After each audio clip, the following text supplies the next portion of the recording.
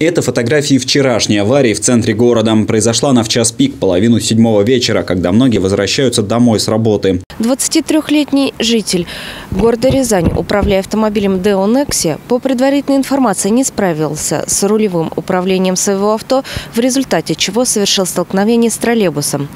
В результате дорожно-транспортного происшествия водителю легкового автомобиля понадобилась медицинская помощь. Однако в соцсетях говорят совершенно о другом происшествии. В четверг в больнице скончался сбитый машиной рязанец. По рассказам очевидцев, он шел вдоль заснеженной обочины. ДТП случилось еще в прошлую пятницу. За жизнь юноши боролись врачи. Статистика же неумолима. 33 погибших на дорогах – это цифра прошлого года и только по пешеходам. Сейчас ситуация не лучше. С начала года 26 ДТП с пешеходами и четверо погибших.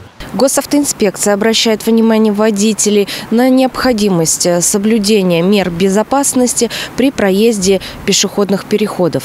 Подъезжая к пешеходным переходам, особенно нерегулируемым водителю, необходимо снизить скорость и предпринять все действия для того, чтобы пропустить пешеходов, пересекающих проезжую часть. Пешеходам тоже следует быть внимательными. Нужно убедиться, что все автомобили остановились и только тогда переходить дорогу. Тем более в условиях непогоды, когда тормозной путь у машин увеличен. Валерий Седов, Станислав Кудряшов, телекомпания «Город».